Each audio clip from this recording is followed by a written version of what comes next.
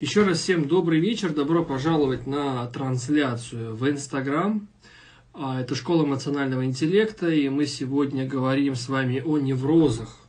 Сегодняшняя такая лекция открытая будет посвящена а, такой важной а, практической теме, именно практической, потому что я не хочу тратить свое и ваше время на разглагольствование из истории «а может ли быть, а может ли быть», а вот какая симптоматика, э, что делать. Э, что делать – это работать с психологом, психотерапевтом, профилирующимся на невротических расстройствах, прежде всего. Потому что э, если психолог, психотерапевт не профилируется на невротических расстройствах, то с большой долей вероятности вряд ли он будет для вас эффективным. Да? А, и уж тем более а, невротическими расстройствами не занимаются а, бизнес-тренера, коучи по успеху, которые берут на себя определенную ответственность, работая с тревожными пациентами. Например, к бизнес-тренеру или какому-то там, условно говоря, специалисту по успешному успеху приходит молодой человек или девушка с тревогой, с беспокойством, и с ним начинает проводиться стандартная такая коучинг-сессия. Это не всегда есть хорошо, потому что эти люди, как правило, не знают симптоматику, не знают клинику, не знают дифференциальную диагностику. Я вот сегодня давал интервью одному издательству, потом когда выйдет интервью, я с вами обязательно им поделюсь. И мы вот там очень подробно говорили о том, что такое дифференциальная диагностика в психиатрии, о том, что такое дифференциальная диагностика в целом, да. Мы поговорили сегодня про коронофобию. Если хотите, потом расскажу. Вот, поэтому э, рекомендация всем, вот, кто хочет сегодня на эфире задать вопрос э, из серии «Что мне делать?», это заниматься э, под, с этим Э, вопросом со специалистом. Но а, я сегодня здесь для того, чтобы записать для вас и для того, чтобы с вами обсудить тему неврозов. Да? Что же такое неврозы? Все, а, многие люди, которые сталкиваются с этим, скажем так, а, слышали это, думают, что они знают, что такое неврозы, но хотелось бы все-таки, чтобы вы были гораздо более подготовленными. Давайте я у вас задам вопрос, что же такое невроз, да, а, а, в целом, вот что же это такое за зверь такой, которым вы все страдаете? Есть ли у вас какие-то предположения? Вот все обзываются там невротик, невротик, да, друг на друга. А что же такое неврозы?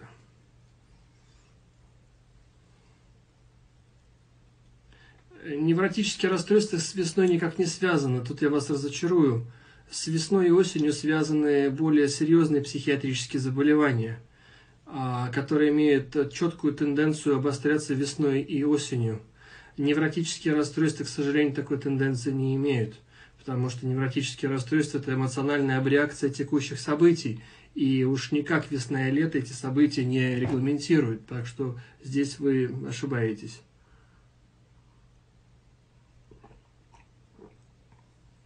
нестабильное эмоциональное состояние. Я тоже с вами здесь не соглашусь, потому что нестабильных эмоциональных состояний есть великое множество, а, но это еще не говорит о каком-то расстройстве. Внутренние конфликты тоже бывают у многих людей. А, мы все периодически попадаем в ситуации противоречивых тенденций, а, и от самого внутреннего конфликта тоже не заболевает неврозом. Есть очень важный момент –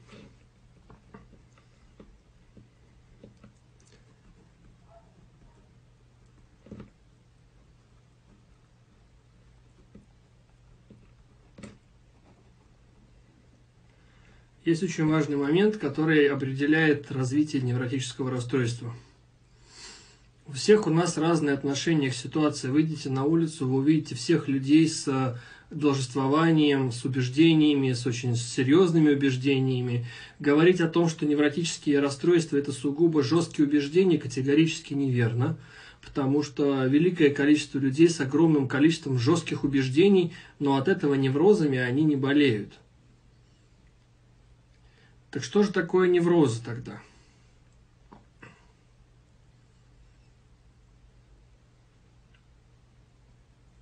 Долго нерешаемый конфликт. но уже теплее. Ну, теплее, не полностью, но теплее, конечно. Итак, давайте с вами для того, чтобы разобраться в теме неврозов, начнем а, понимать и изучать вообще эту тему. Да? Давайте послушайте меня, пожалуйста, внимательно. Значит, у нас есть а, несколько таких очень важных моментов. Первый момент называется невротическая личность. Второй момент называется невротическая реакция. Второй момент называется невротическое развитие. О, простите, э, после невротической реакции идет основная невротическая, а, скажем так, основа, то есть сам по себе невроз, и потом невротическое развитие. Вот Итак, невротическая личность, невротическая реакция, невротическое расстройство, невротическое развитие. Вот чтобы понять, что такое неврозы, надо понять э, клинику и надо понять э, механику. Давайте вот меня послушаем. А, невротическая личность – это человек, а, который имеет определенные собственные уязвимости с точки зрения сверхценных болезненных точек, сформированные в его детстве – сформированные в его определенный юношеский период, которые для него слишком сверхценны и слишком э, эмоционально значимы. Это первое. Но не все. Второе. А невротическая личность всегда преувеличивает значимость событий. Да? То есть отличается невротическая личность от нордической личности тем, что невротическая личность всегда придает тем или иным событиям а, слишком гипертрофированное значение. Вот этот момент, он очень важный. Да? Вот именно вот это гипертрофированное значение к событиям и приводит к следующему моменту. Затем, помимо уязвимости и помимо самой невротической личности, обязательно нужна следующая формула компонента в формуле. Это определенные события, которые должны попасть а, как ключ к замку к невротической личности. То есть невротическая личность имеет свои уязвимости, имеет свои а, детские определенные а, аспекты, сейчас я об этом поговорю, и имеет такую э, невротическую структуру преувеличения значимости, слишком эмоциональной реакции, перебарщивания, а, выходящего за условные рамки и нормы и затем он встречает ситуацию или череду ситуаций, внимание которая попадает в аккурат в его больные точки. И он начинает, внимание, преувеличивать реакцию, то есть невротическая реакция – это всегда преувеличение реакции, все это понимают. То есть это не просто реакция на событие, она слишком преувеличена – и еще один важный компонент в этой формуле, помимо преувеличения реакции, помимо слишком эмоциональной реакции из-за того, что это попало в больные места, пишем, это всегда затянуто во времени. То есть от какой-то разовой эмоциональной невротической реакции, от какой-то разовой вот такой истории расстройствами не болеют. Расстройство начинается только тогда, когда вот эта компонента, она очень сильно как сказать, начинает э, как формула сочетаться. То есть смотрите, чтобы заболеть невротическим расстройством, сколько факторов должно совпасть. У вас должны быть детские уязвимости определенные. Затем у вас должны быть определенные обстоятельства, к которым вы отнесете слишком эмоционально и значимо. Затем вы должны все это затянуть во времени. Понимаете? Вот если совпадут ваши, ваши уязвимости ваше преувеличение эмоциональность и все это э, связанное с определенными конкретными событиями, попадающими в конкретные уязвимые точки, и все это еще полируется временем и затягиванием, вот тогда формируется невротическое расстройство. То же самое касается многих а, прочих заболеваний в классической педиатри... э, э, терапии. Да? То есть э, есть определенное заболевание, например, та же самая несчастная пневмония. Да? То есть пневмония, она как таковая самостоятельная бывает очень редко. А в основном пневмония – это последствия определенного патогена, да, который развивается в организме, то есть начинается ОРВИ или грипп, и потом все это, в общем, происходит в виде осложнений, но не всегда. Вот невротические расстройства – это, если хотите, своего рода осложнение невротических реакций. Плюсик ставим, кто это понимает. Да? То есть от того, что вы просто расстались с парнем, от того, что вы просто понервничали, от того, что вы просто где-то слишком эмоциональны, неврозами не болеют. Чтобы заболеть неврозом, нужно длительное время, достаточно долго себя контрапупить какими-то слишком сильными преувеличенными реакциями, какими-то слишком сильно преувеличенными значимостями, какими-то слишком эмоциональными, не обязательно острыми, а депрессивными, а, тревожными, сомнительными, социофобическими, избегательными, а, какими-то нормативными нотами, и все это должно затягиваться во времени, и тогда это приведет к осложнению в виде невротического расстройства.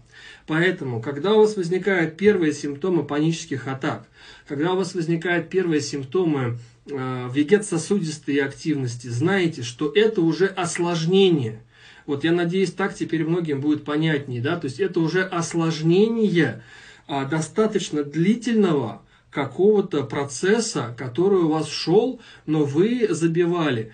Но опять же вернемся к пневмонии, да. Пневмония – это осложнение а, некачественной терапии. Или, например, вы все слышали с детства а, простуду на ногах перенесешь, заболеешь воспалением легких. Слышали, да, такую фразу, а, что а, не надо переносить грипп на ногах, а, будет осложнение. Помните? Вот ваше невротическое расстройство, ваше ВСД, а, панические атаки, вся вот эта симптоматика вегетативная, фобическая, похондрическая, обсессивно-компульсивная, это осложнение перенесения эмоциональных реакций на ногах, если хотите. Понятно всем? Вот это очень важно понимать. Вот что такое невротические расстройства. То есть это, а, чтобы заболеть невротическим расстройством, надо постараться на самом деле потому что э, тут должны совпасть очень много факторов. Но мы же также видим, что не все болеют воспалением легких, да, чтобы заболеть воспалением легких, нужны факторы все-таки. Но вот опять же, параллельно коронавирусные инфекции нового типа. А, но если бы коронавирусная инфекция нового типа поражала бы легкие, то не могло бы 70% переносить бессимптомно. Ну что это за наебка такая, да? Ну как это? А, коронавирусная инфекция поражает легкие в труху, но при этом 70% переносит бессимптомно. Но, но даже идиот а, в этом смысле начнет сомневаться, что это за а, по, по, легкие в труху, при этом 70% переносят бессимптомно. Это как, простите? Может быть, давайте говорить правду, да, о том, что есть классические осложнения, да, а, в, в ОРВИ, ОРЗ, гриппе, которые могут привести, если есть определенные сопутствующие заболевания, к пневмонии. Э, у человека с сопутствующими заболеваниями любой грипп и любое ОРЗ в определенном проценте вероятности может привести к пневмонии. Оно может быть вялотекущее, оно может быть острое, оно вообще может быть бессимптомное. Есть ряд пневмоний, которые, в принципе, диагностируются только на каком-то там э, МРТ, и, в принципе, человек, кроме вялости, такой астении, ничего не чувствует, никакой температуры, никакой э, отдышки, никакой проблемы нет, он даже не знает, что у него есть пневмония. Вот, поэтому бывает всякое. Давайте вернемся к неврозам. Ребятки, по неврозам все понятно. Давайте тогда поговорим немножко про дифференциальную диагностику коронофобии. Э, хотите? Плюсик в чат поставьте, кому это интересно. Кто хочет понять, насколько он болен коронофобией, э, насколько он болен а, а, с точки зрения неврозологии. Значит, я объяснил в этом видео, что такое неврозы, надеюсь, всем стало ясно. Да? То есть, чтобы заболеть неврозом, нужно, еще раз подчеркну, определенное детство – определенные уязвимости и потребности. Во-вторых, а, должны произойти ситуации, которые попадают в аккурат а, вашу эмоциональную реакцию. В-третьих, невротическая личность всегда преувеличивает а, эти реакции. И в-четвертых, она их затягивает. Никаким образом не подвергая терапии. Вот тогда вы получите рецепт к невротическому расстройству. Имеете определенные проблемы из детства – имеете определенные эмоциональные реакции, имеете определенную череду или хроническую череду ситуаций, эмоционируйте, затягиваете, и вы получите расстройство невротического характера. Точно так же имеете грипп, имеете ОРЗ, бегаете с температурой 39 по стадиону, ходите без шапки, а, и вы получите воспаление легких. То есть примерно та же самая картина. Всем понятно? Теперь давайте поговорим с тем, а, о том, о чем мы сегодня говорили с э, журналистом одного издательства. Значит, а, сегодня огромное количество людей находится в тревоге, и они боятся заразиться коронавирусной инфекцией. И вот меня сегодня спросила а, Мария, если я не ошибаюсь, девушку звали, что с этим делать, и вообще все заболели э, коронофобией, да? Значит, давайте с вами поймем одну простую вещь. Значит, первое, что я хочу сказать, это то, что такое дифференциальная диагностика да, в медицине. Значит, смотрите, запоминайте – Загибайте пальцы. Если у вас тревожность по поводу коронавирусной инфекции? Есть. Если у вас беспокойство, а, чтобы не заболели вы или ваши дети или ваши близкие? Есть. А, соблюдаете ли вы правила личной гигиены, э, рекомендованные нашим министерством? Одеваете маски? Да. Моете чаще руки? Да. А, дистанцируетесь от людей? Да. Не посещаете людные места? Да. Вот все это с точки зрения психиатрии является клиникой и симптоматикой. Ну, например, человек испытывает тревогу, человек имеет избегающее поведение. Человек имеет конкретную логическую структуру, почему этого надо избегать. То есть с точки зрения клиники, как бы фобия невротическая. Но на самом деле не так. Потому что ваше избегание, ваша тревога, ваша социальная дистанцированность, она абсолютно обусловлена эпидемиологической реальной ситуацией. Все это поняли? То есть это не просто кардиофобия, когда вам 25 докторов сказали, что у вас сердцем все хорошо, а вы говорите, нет, все-таки у меня кардио, э, все-таки у меня инфаркт. Все поняли разницу? То есть ваша тревога, ваша настороженность, ваше напряжение, ваша социальная дистанция, ваше мытье рук, а ваши повязки, ваши э, странные взгляды на прохожих, кто из вас идиот, кто в маске, а кто нет, это абсолютно не невротическая конфигурация с точки зрения клиники. Это исключительно вопрос э, социально обусловленных рекомендаций и тревожного, повышенного тревожного фона ввиду определенных средств массовой информации. Как только вам средства массовой информации скажут, что все, эпидемия прошла, возвращаемся на работу, даже этот коронавирус будет летать вокруг, вы устраните это избегающее поведение, вы устраните эту фобию. Всем это понятно? Что 80% населения не имеет патологии. Да, они имеют тревогу, да, они имеют избегающее поведение, да, они имеют социальное дистанцирование, да, они имеют определенную изолируемую форму поведения, но она обусловлена реальной ситуацией. А неврозы – это неадекватная реакция на нереальные ситуации. Все это понимают. То есть, вот это тоже очень важно. Вы сейчас испытываете адекватную реакцию, которую вам порекомендовали и рассказали в адеквате.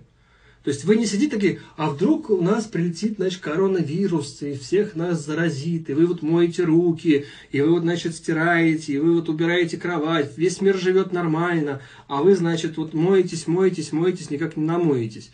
Поэтому 80% перестаньте считать, что у вас какая-то проблема, у вас абсолютно все хорошо. Но есть 20% людей, которые называются тревожно-фобическими пациентами или тревожно-мнительными пациентами или пациентами с действующими сопутствующими заболеваниями, такие как невротические расстройства и особенно обсессивно-компульсивное расстройство, то есть пишем почва. У 20% людей есть клинич, клиническая почва, а, которая без коронавируса их постоянно обостряла. Да? То есть это, а вдруг инфаркт, а вдруг инсульт, а вдруг онкология, а вдруг я задохнусь, а вдруг у меня будет это самое клаустрофобия, кислорода не хватит, т -т -т -т -т -т -т, а вдруг я заболею какой-то болезнью, надо помыть руки, надо 33 раза плюнуть куда-нибудь, а то все заболеют и умрут. А если я оставлю родителей, значит они умрут, я буду плохой, я должна им помочь. Вот почва. у 20% населения есть почва, и, которая называется хронические невротические расстройства. Или, э, как правильно говорить в клинике, это генерализованное тревожное расстройство в структурах там чего-либо. Соответственно, вот когда э, коронавирусная эпидемия, да, и такая, э, э, я бы сказал, пандемия страха, а, и пандемия соци социомедиа накатывает на такую 20% прослойку населения, то, конечно, они обостряются. Конечно, им тяжелее, потому что у них появляются дополнительные сопутствующие поводы для беспокойства, у них появляются сопутствующие поводы попереживать, попаниковать, по, а, поумирать, помыть руки с каким-нибудь скипидаром, сжечь себе нахер кожу на руках – а, перемыть 380 раз квартиру, задрочить всех своих родственников чистотой и гигиеной, а, пуститься в экзистенциальные проблемы смысла, одиночества и так далее. В общем, действительно это правда. Поэтому давайте с вами подытожим. 80% из вас а, имеет абсолютно адекватную тревогу, соразмерную ситуации, эпидемиологической ситуации и а, преподношение СМИ.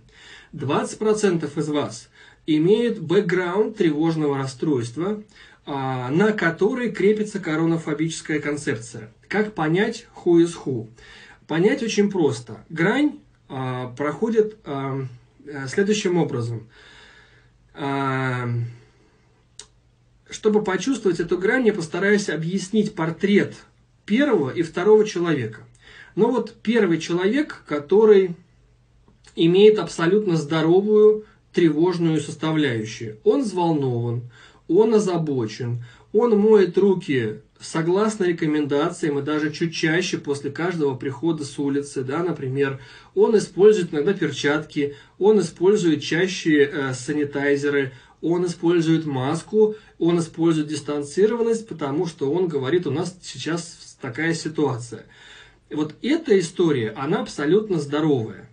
А человек с э, другой стороны, с другим бэкграундом, у него возникает очень сильное навязчивое состояние, о том, что он э, непременно заболеет, заразит семью, все семья погибнет, он не успеет реализоваться, он обкладывается санитайзерами, он начинает перемывать руки, значит, каждые пять минут, он э, приобретает где-то концентрированную какую-то кислоту, сжигает себе руки, он ходит постоянно в перчатках, у него дома все разложено на стерильную зону, нестерильную зону, у него дети проходят санпедобработку на входе в подъезд, потом они переодеваются, оставляют всю одежду в, в этом, значит, в, в прихожей, идут, значит, в чистую, в грязную зону, в грязной зоне моются, в чистую зону проходят абсолютно санированными. То есть разница в уровне поведенческого преломления к контролю, да?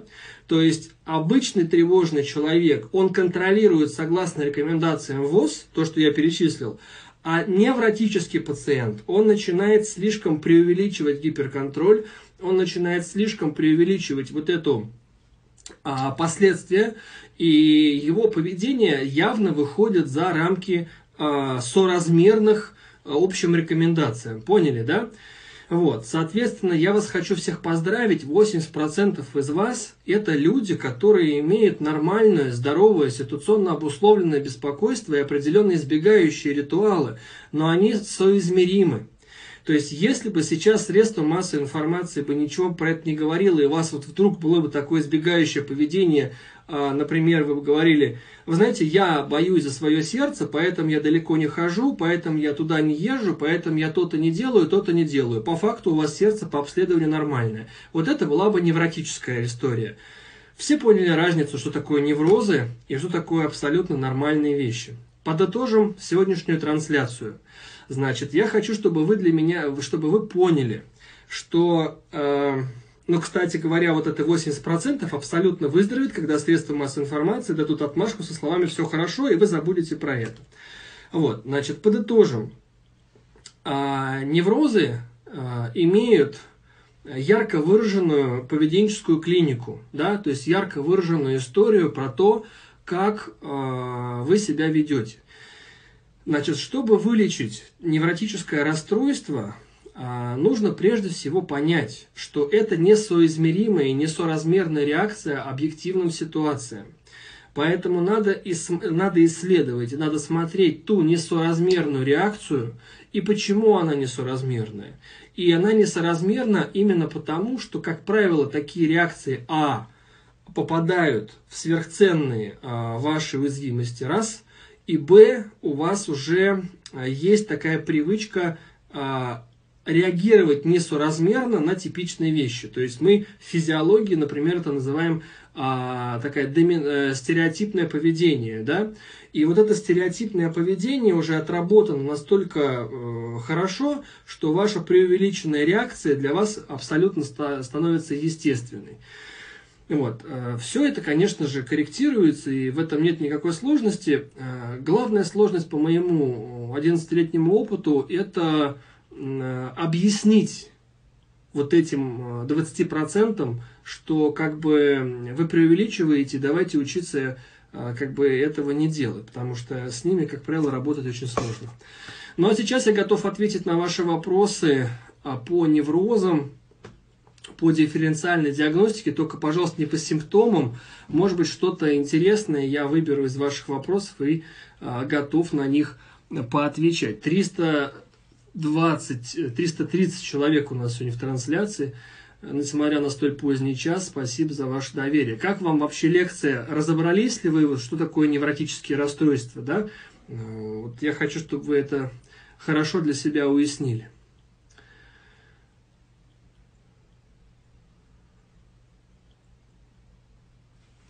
А сезоны вам не могут помочь с ОКР, милая. Тут вопрос не в том, что вам вообще что-то может помочь к сожалению, понимаете, вот э, то, как вы формулируете, вам никто и никогда не поможет.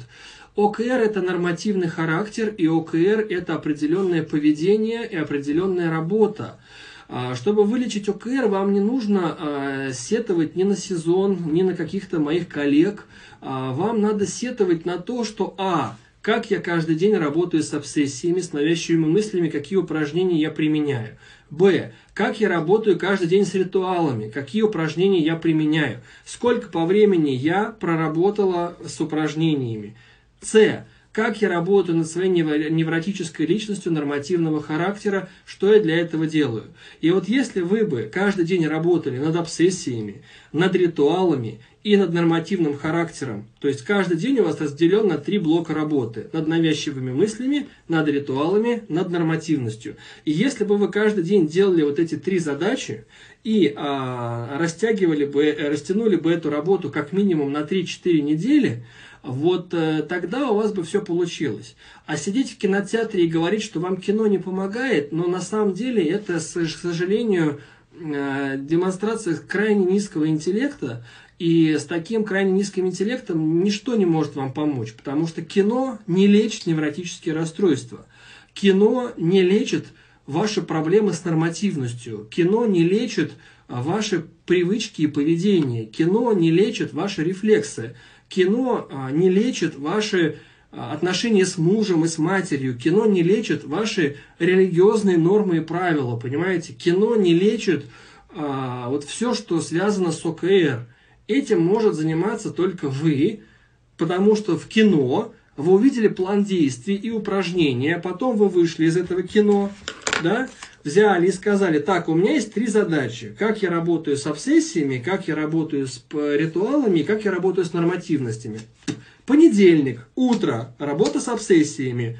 То-то, то-то, то-то делаю. Понедельник, обед, работа с ритуалами. То-то, то-то, то-то делаю. Понедельник, а, вечер, работа с нормативностью, то-то, то-то делаю. Вторник, понедельник, утро, работа с обсессиями, то-то, то-то делаю. Вторник, сред, э, обед, работа с ритуалами, то-то, то-то делаю. Вторник, вечер, работа с нормативностью, то-то, то-то делаю. Среда, утро, работа с обсессиями, то-то, то-то делаю. Среда, обед, работа с ритуалами, то-то, то-то делаю. Среда, вечер, работа с нормативностью, то-то, то-то делаю. Сука. Четверг, утро, работа с обсессиями, то-то, то-то делаю. Четверг, в, э, обед, а, работа с ритуалами, то-то, то-то делаю. Четверг, вечер, работа с, обсессией, с нормативностью, то-то, то-то делаю. Пятница, утро, работа с обсессиями, то-то, то-то делаю. Пятница, обед, работа с ритуалами, то-то, то-то делаю. Пятница, вечер, работа с нормативностью, то-то, то-то. Сука, теперь понятно, как работают с сезоном. Даунита.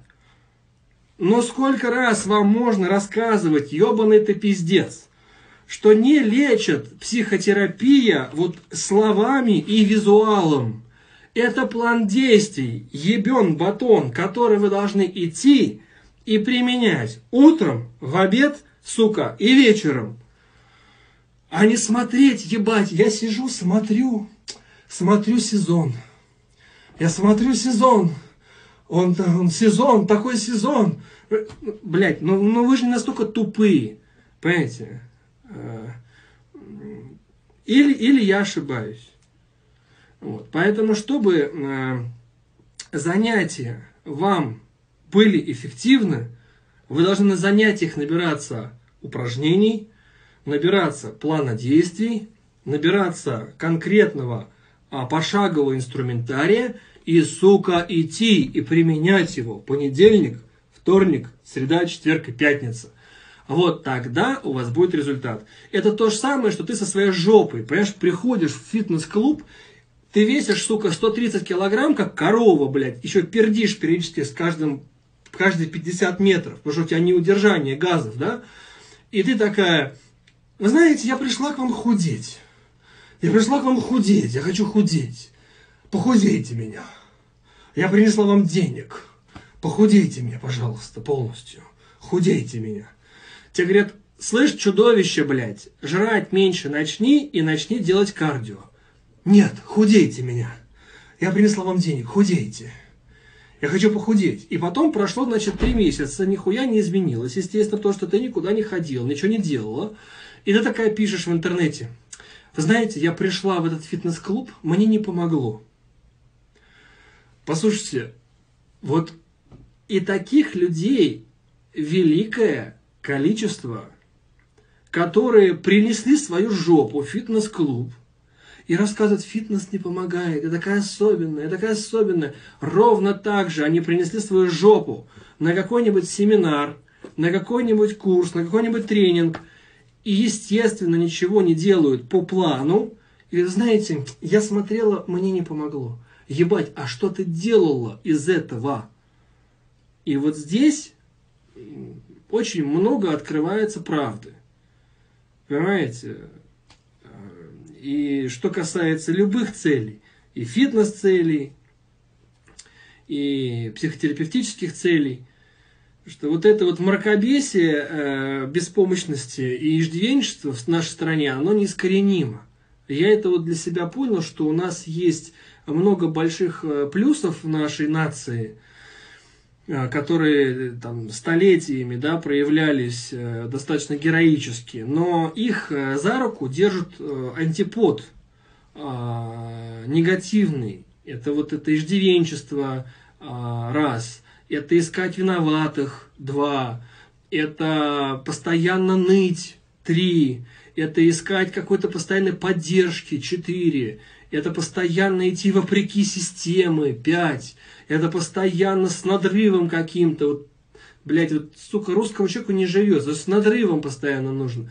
И вот э, эти качества, на мой взгляд, они очень такие существенно системно тормозящие нашу страну и нашу нацию в целом. Хотя, конечно, есть и положительные качества. А, как, то есть, когда а, возникает какой-то а, фатальный пиздец, эта нация вдруг включает совершенно свои другие качества и героически побеждает а, всех, потому что просто никто не готов э, на такие подвиги, да, скажем так. Но когда у нас обычная такая вот жизнь, вот обычная, то вот эти качества, которые я перечислил, они, конечно, к сожалению, не способствуют никакому успеху, никакому развитию, никакому лечению неврозов, никакой хорошей личной жизни, никакой финансовой личной жизни, успешной жизни – вот. И это печально. Это печально, конечно же.